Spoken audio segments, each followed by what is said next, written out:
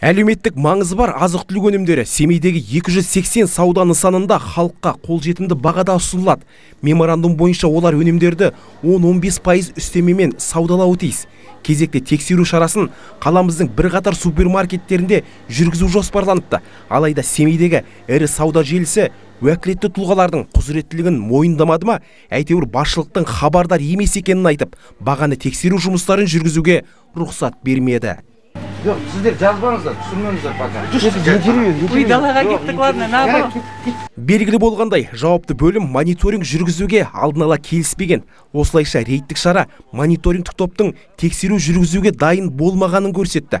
Сонда да сұранысқа ие бірқатар тауарлардың бағасын түсіріп үлгердік. Мәселен, картоп өнімдері бағасының жоғары екенін байқадық. Соған қарамастан кәсіпкерлік бөлім өкілдері өнім бағасы нарыққа сай екенін айтады.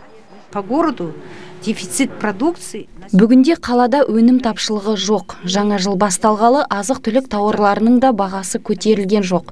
Өздеріңіз де көрдіңіздер, бағаның өскендігі байқалмайды. Біз күнделікті шағын және орта бизнес өкілдерімен сауда нысандарының басшыларымен жұмыс істеп жатырмыз. Онда бағаны көтермеуді ұсынамыз. Ең көбі 10 пайыз үстемақы болуы тиіс. Әрі сауда нысандарында нан 95 теңгеден ұсынылуда, ал бірінші сұрыптағы бір бөлке нанның бағасы 120 теңгеге дейін. Бұл белгіленген шекті бағадан аспайды.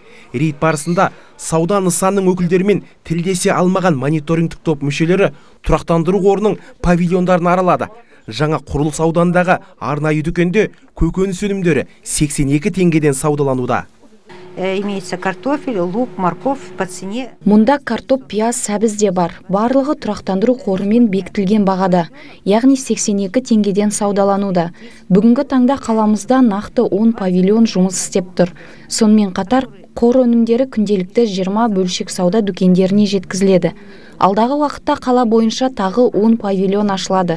Қазірдің өзінде академик Павлов көше бойына қойылды. Жақын арада өнімдер жеткізіле бастайды. Бұл бағытта жұмыстар жалғасады. Қалалық мәслихат депутаттары мониторинг жұмыстары жалғасатынын айтты. Дегенмен халық қалаулыларының кәсіпкерлік нысандардың өкілдерін жай ғана ақпараттандырып қана қоймай, нақты әрекетке көшкені жөн. Цены э, пределах нормы. Значительно они не... Азық түлік өнімдерінің бағасы қалыпты, айтарлықтай көтерілді деп айта алмаймын. Әрине бұл бізді қуантады. Бұл ретте сауда нысандарында мониторинг жүргізе отырып бағаны негізсіз көтермеу жайлы ақпараттандырамыз. Кейбір сатушылар тауарды жеткізушілер тарапынан баға көтеріледі деп шағымданады. Бірақ қазір көріп отырғанымыздай өсім шамалы. Бүгін біз аралаған супермаркеттерде баға бір қалыпты.